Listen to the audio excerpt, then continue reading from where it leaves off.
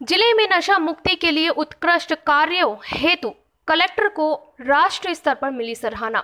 नशा मुक्त भारत अभियान के अंतर्गत कलेक्टर श्री वेद प्रकाश के मार्गदर्शन में तथा संबंधित विभागों के अधिकारियों द्वारा ज़िले में नशा मुक्ति के लिए किए गए उत्कृष्ट कार्यों, अभूतपूर्व प्रयासों के कारण नरसिंहपुर ज़िले को राष्ट्रीय स्तर पर सराहना मिली है। नरसिंहपुर को बेस्ट परफॉर्मिंग ज़िले के रूप में स्थान मिला है।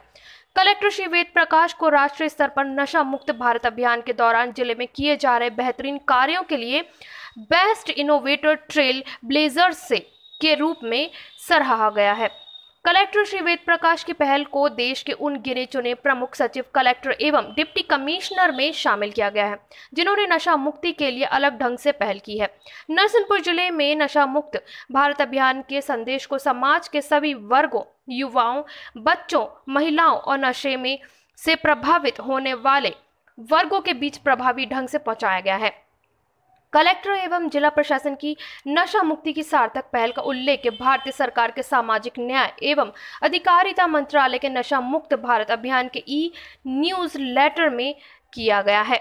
नरसिंहपुर ज़िले से विनोद चौकसे की खास खबर।